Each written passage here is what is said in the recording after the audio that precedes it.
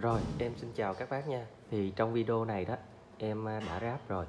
À, ráp hai cái lo với cái à, cục giữa của radio cassette cổ. Thì bên đây đó chính là cái thùng lo em đã lót cái vật liệu tấm đam pin trong đó rồi. Còn bên đây là cái thùng lo là chưa lót tấm đam pin cách âm trong đó. Và hai con này á, thì cũng như video đô lần trước á, em đã chia sẻ là em đã à, độ nó lên rồi. Một cái lo toàn giải âm trần toa một cái lo mid Samco và một cái lo trép Thạch Anh. Thì hai lo nó giống y chang nhau, nó chỉ khác nhau là bên đây em có lót cái tấm đâm pin, bên đây không có lót. Thì bây giờ em sẽ test chất âm từng cái lo để cho các bác cùng nghe thử. Rồi em sẽ test trên cái nền nhạc organ nha.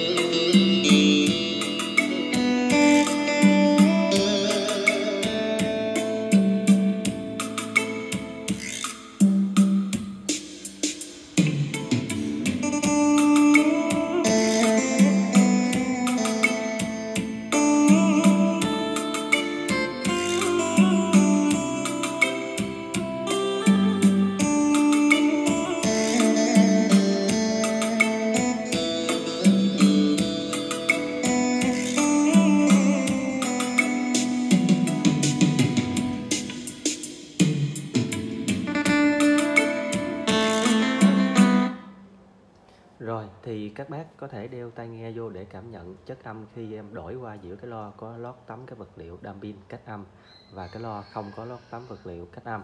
À, trên cái đài radio cassette cổ uh, Binton này thì ở đây nãy giờ em dùng cái cần gạt đảo là chọn lo trái lo phải đó các bác. Thì uh,